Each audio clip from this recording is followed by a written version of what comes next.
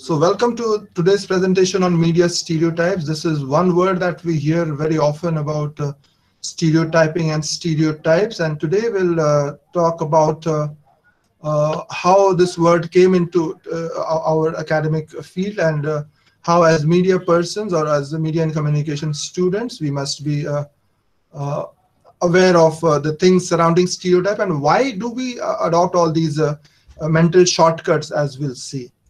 So uh, stereotypes basically are generalizations about uh, uh, other others generally, about members of other groups. So they are not based on our own first-hand experience, but based on some certain generalizations that we've learned about others from the mass media, not exactly uh, from uh, you know about them uh, for, from our meetings with them or people of, of that particular group. So as we said, there are two very important things. It's about an out group, people belonging to some other group. And we learn about them through generalizations from the mass media. Two important things to remember.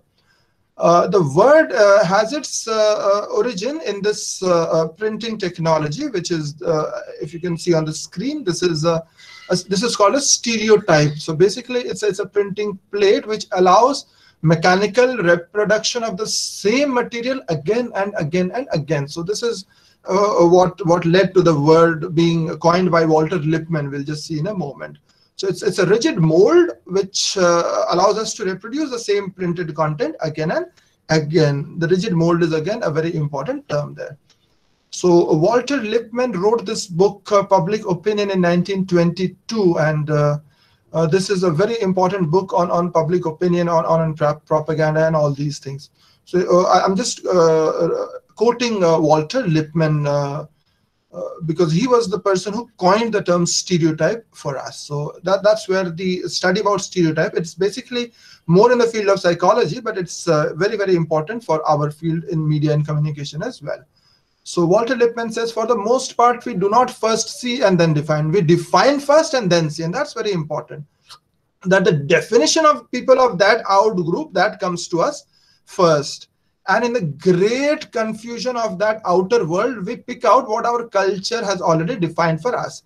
Our culture means uh, basically the kind of way, uh, the life that we lead. So uh, the mass media and all these things, they have already defined for us that what an other means. So basically, we uh, take that other as, as, as, as a given, and then we uh, uh, define or we see that person based on that particular framework. So Uh, based on what our culture uh, has uh, picked out in the form of a stereotype about the other person.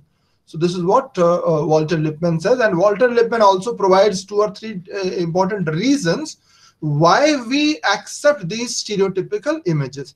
First of all, it, it, it does not require a lot of effort because we already have a familiar idea about what that person could be or what that uh, uh person coming from that particular area is like. And then we do not have to expend a lot of uh, mental energy there. Say, for example, if we have an idea about what a Chinese person would be like, then whenever uh, we come across a Chinese person, then we visualize that person with the images that we already have in mind. So it leads to an economy of effort. And it is also a defense, which uh, Walter Lippmann says. Why is it a defense?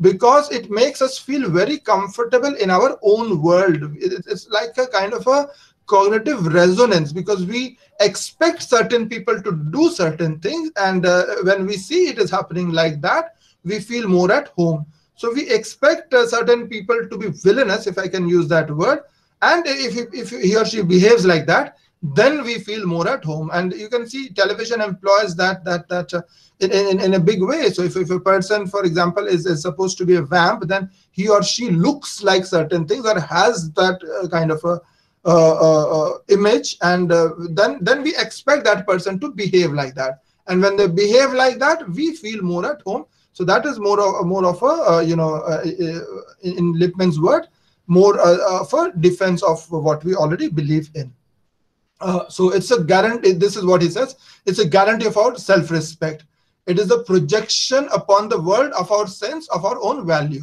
so, uh, so these stereotypical images they have uh, uh, uh, feelings attached to them. So these are like uh, you know traditions for us. So if a person has an image of, of that particular kind among us, then then then you know it, it, it's just repeated and reinforced as we will Uh, see. So, uh, there's another thing which uh, Lippmann talks about, which is about the blind spot, which I will talk in a moment's time. the study about stereotypes basically talks about it generally in, in negative terms. So uh, this is from Dominic uh, Lasorsa, and uh, uh, this is what he suggests that uh, stereotype is a category-based cognitive response. So I have categorized people into certain categories, and I identify that person into that particular category. And the affective counterpart means how I feel about that uh, those categories is prejudice, and how I behave is discrimination. So generally, this is about uh, uh, stereotyping in, in, in, in race, and we'll see uh, uh, more about that when we talk about blacks then we see them to belong to certain categories or, or uh, even when uh, in certain cases even gender roles are stereotyped and xenophobia. So if we people if you see people of other nationalities so this leads to some kind of intolerance because we have certain preconceived notions about what they are or what they could be so uh, this is basically a negative uh, uh, response or the effect is generally uh, seen in terms of, uh, you know, uh, all those all those negative types of stereotypes. We'll see that the media uses it for some other purposes also. We'll see that as we go along. So, for example, Perkins suggests that there is a male stereotype, the, the he-man stereotype, and also the upper class stereotype. And which is a leader stereotype and the other stereotypes are defined in terms of opposition to these kind of stereotypes. So if he is not male upper class then he is this and that is why he is other or uh, he is uh, uh, inferior in certain cases or whatever. Or that is what a uh, lot of uh, stereotyping is about so stereotypes are learned early. They are learned early because mass media provides us with these images uh, again and again. So they are reinforced because they are repeated and they're encountered repeatedly. And that is why it is automatic. We'll, we'll talk about mental shortcuts that we employ. And that is why these stereotypes are uh, very automatic. And why are they automatic? Because most of our social encounters are superficial. Uh, we do not expend a lot of energy uh, or uh, mental energy in uh, trying to find out about uh, those people. So they are they belong to those categories. So that is why because we have been through this process of, of uh, uh, stereotypes through through repetitions and uh, uh, such things that is why whenever i uh, see a person belonging to that particular category I, I immediately think that okay these are the characteristics of that particular person. But if we think deeply and i will talk about these two thinking systems in my presentation today but if we think more elaborately and more systematically, then we can see beyond the stereotypes. Then uh, people, uh, you know, a black person will be not a stereotype, but he will be something else. Then a woman will not be a stereotype, then something much more uh, than that. So this is about uh, the, the ways of thinking or why we uh, uh, see certain things as stereotypes and why we do not see other things as not stereotypes. We'll talk about that in details as well. And stereotypes uh, can occur in a lot of environmental uh, contexts. As I said, it, it can occur in, in terms of gender roles. It can uh, uh, occur, occur you know, as an out group. And it is also a reflection of power, which we will suggest in our presentation today as well. So uh, in the next part, so the first part was about the um, historical perspective and stereotypes and uh, what are the various ways of looking at it. Now let's start talking about uh, uh, how stereotypes are used by the media in the media and what are the purposes uh, that that media puts stereotypes to. So first of all we've seen earlier that media are a very powerful uh, tool to develop reinforce and validate these stereotypical beliefs. So uh, in indian cinema for example the stereotype of uh, of a south indian was what mahmood would play in film after film about somebody who was uh, good with music or who would speak with certain accent and so on and so forth. So every time a South Indian uh, had to come to uh, uh, these uh, Hindi movies, uh, uh, the image was was just reinforced and validated, and that is where our our response to those people or our ideas of those people would be based on these images, particularly when our personal experience with those people is very limited. We are not going to meet those people in, in, our everyday life more very regularly. So that is why these media images are extremely important in developing these stereotypes and my ideas about that particular group or that particular category to which that person is uh, put into as as uh, as a stereotype. So uh, why does media have to deal with these stereotypes? One of the very simple answers is that it assists them to uh, uh, build that narrative without expending a lot of resources. So if a person has to be identified as a villain, it's very easy to just uh, give him a particular type of costume, give him a particular type of, of uh, uh, uh you know, uh, dialogue delivery and these kind of things. And, and without, uh, you know, putting in a lot of things into the story, just by looking at that person, people can very easily identify that person as a, as a villain. So it helps the media conveniently provide information about social groups into simplistic, identifiable images which are easily accepted by people and which are also easily understood by people especially when they have uh, no personal experience of, of uh, meeting such people. So uh, to reach the broad audience uh, uh, the media employs these attributes of it could be ethnicity. So if a person has to belong belong belong to the middle east he or she is uh, shown to have certain attributes it's, it's there in hollywood also in, a big way so if, if we've seen the big bang theory where where uh, uh, uh, Raj Koothrappali was the Indian stereotype there. Very often, you know, he was a person who, who would love snakes and who would, you know, eat certain kind of food or speak a certain kind of language. And that's where it's very easy to put out the message that, okay, he's an Indian just through these attributes or even gender or class or employment or even religion or, or, or even mental or physical disability. So, so every mental patient in Hindi uh, movies would have that particular characteristic with that kind of, of, of, of guffawing laughter and, you know, uh, a different kind of, uh, of, uh, of uh, you know, violence and all those kind of things. So every time it had to be a filmy, uh, Uh, uh, uh, you know, mental disorder, that person would be just into that particular images or those few images. So these uh, are, are actively, uh, these are automatically activated whenever we encounter these symbols in the mass media. Whenever we see a, a, a, mad person who they want to show on the screen, just by you know those simple cues, they can put the, their message across that, okay, we are saying that he or she is a mad person or things like that, even with, with age and uh, disability and all that. So whatever these attributes are, uh, they are trying to put them into more simplistic images for us.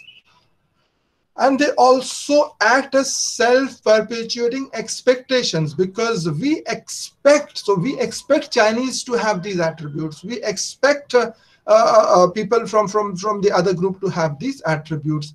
And uh, we only uh, pay attention to those attributes which are consistent with the stereotype. So if i have an image of, of, a, of a chinese person being of a certain kind and if I get uh, uh, an, information which is not consistent with that image, then I will mentally disregard that image or I will mentally ignore that kind of an image or I will ment mentally discount that image. So the images uh, that I have in mind, uh, I have been uh, exposed to over a period of time, generally through mass media and through uh, other avenues. These are the images that I hold about those uh, out as I've suggested. And if I get information which is not consistent with that kind of image, then uh, I, I, I, might disregard that information. And uh, in, in, television commercial, this is from, from an American example by Nicole Farris. And if you see the gender stereotype, how women are portrayed. So uh, this is, uh, as, you, as I repeat, this is from an American example, but you can find a lot of uh, resonance in, in, in, Indian advertisements as well. The woman is always portrayed uh, to be somebody who's cooking or washing or, or you know doing uh, this this household work or even you know serving food or you know serving breakfast or dinner or, or things like that. Or even when they're talking about diet products, they they they are about women and all. So this is a very, uh, uh, uh you know, kind of a dangerous stereotype because you are expecting uh, uh, uh, uh these gender roles uh, whenever you, you, you, talk, you talk about women. And this is what has been seen. And although there are some, some, some very, very good exceptions, but generally, and this is just maybe 10, 20 years back, but this is what was the stereotype about women at that point of time. And the stereotype of blacks also, and this is from Mastro and Greenberg in their journal article of 2001, the blacks were often seen as lazy and untrustworthy and unintelligent and largely, you know, uh, demeaning kind of roles just to entertain uh, the white uh, audiences. And they were shown to be living in, in ghettos and slums and, and, you know, all that. So this racial ethno, uh, ethnic stereotype is also very common in American media as well. And here also we have, you know, different uh, communities being uh, exposed to some different kind of stereotypes. So when, when a person belongs to that particular religion, he's supposed to uh, uh, belong to a particular category of uh, stereotype. Uh, one way in which this can be countered is by depicting counter stereotypical content and th this has been seen in educational programming as well that when children's uh, uh, negative uh, stereotypes are broken through content which is not stereotypical. So so they could be showing a black doctor or, or a black engineer or, or, a black scientist for example. Then their positive at, uh, attitudes towards uh, uh, then there is a positive attitudes towards these ethnic minorities.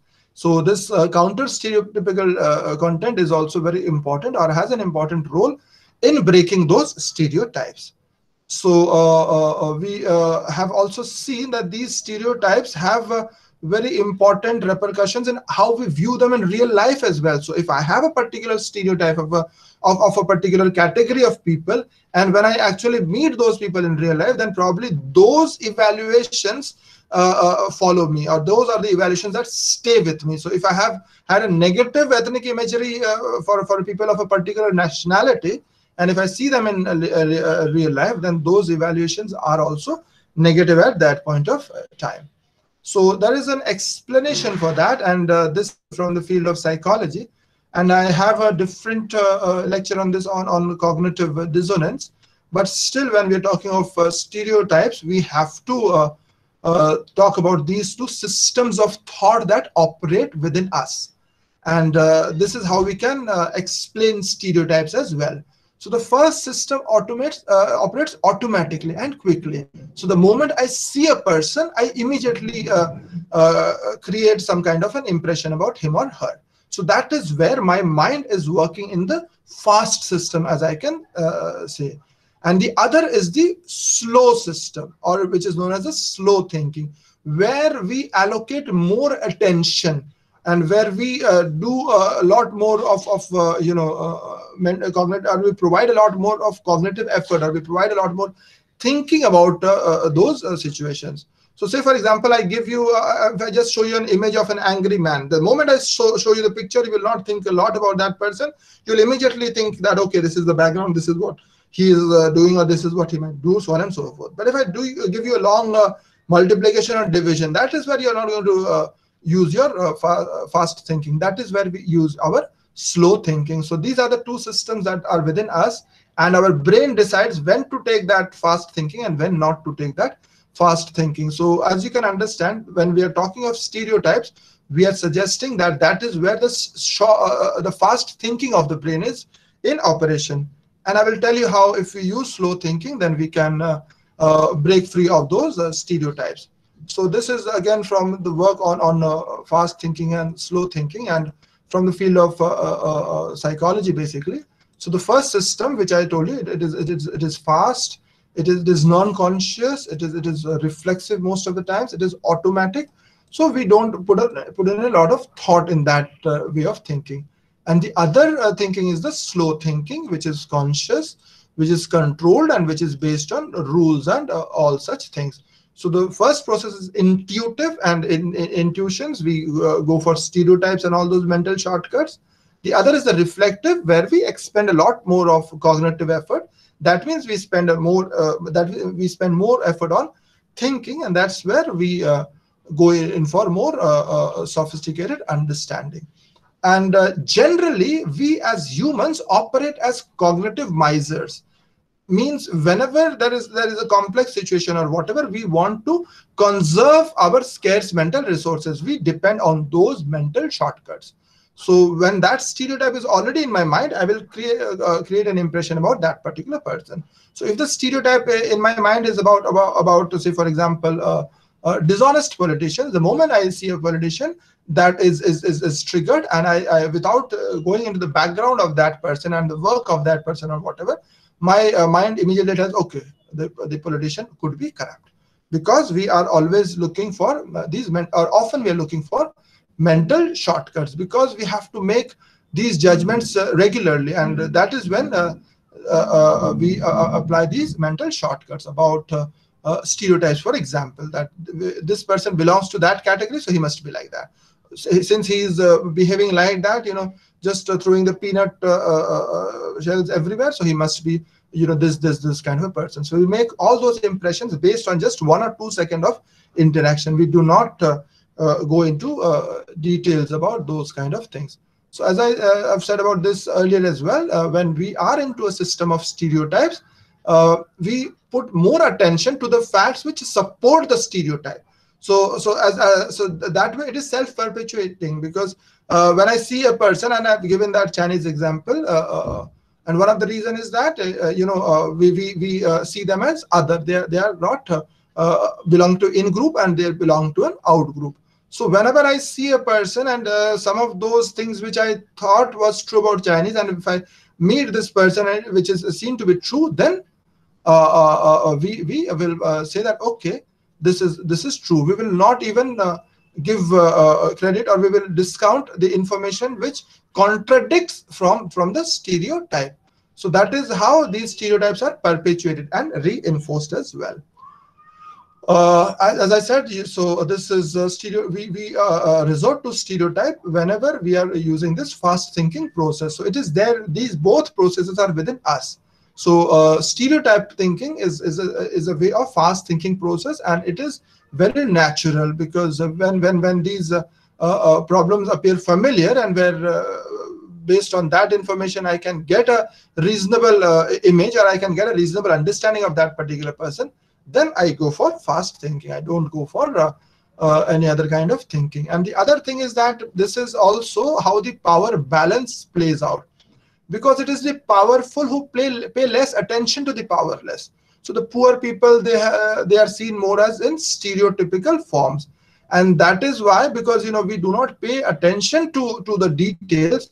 That is why there is a fast thinking. And that is why, you know, this, this stereotyping also uh, uh, helps, you know, kind of uh, maintain the status quo you do not uh, get into the details and that is why you can't see the problem so very often you uh, don't can't see the, the, the problem of the other group because you're seeing them as stereotypes. Okay why are they protesting? Because uh, it doesn't seem true. But because you're seeing that as a mental shortcut you're seeing them as uh, these uh, uh, through these stereotypical lens. And whenever you can expend more thought into those people and that's where you know the, the, the, slow thinking comes in. Because if you think if you spend more energy thinking about those if, if we spare more cognitive resources I've just said that we are cognitive misers, but if we uh, uh, uh, do more thinking into those things, then we can go beyond the stereotypical images and then we can see the non-stereotypical parts of the person. And in the second last slide here, I'm going to talk about four different kinds of stereotypes. So this is based on, on the research in the field of psychology and they see uh, people in, in terms of uh, two different, uh, uh, uh, as I can say, criterion. One is, is the criterion of warmth and the other is the criterion of competence. So if I see another person with less warmth and with and I see that that person is less competent, then the stereotype I have about that particular category is contemptuous because there is less warmth and I don't regard those people as, as uh, being a competent. So anybody who receives welfare or poor people, they're often seen as uh, a contemptuous stereotype. So I, I uh, think of them as a stereotype and I don't even think very highly of them. I think of them as, as uh, uh something to be uh, with, with contempt.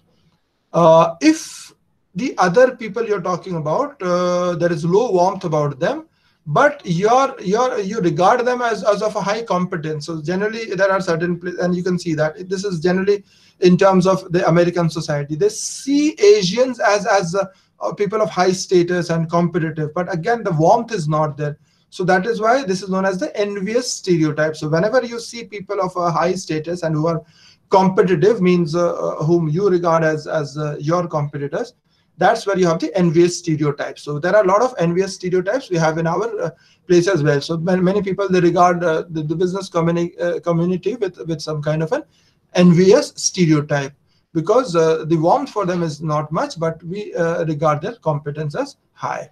Then the other kind of stereotype is the paternalistic stereotype, where the warmth for that uh, uh, community or that group is uh, high, but uh, we regard their competence as low. So well, when they're elderly people or, or, or uh, housemakers or disabled people, then we uh, regard that as a paternalistic stereotype.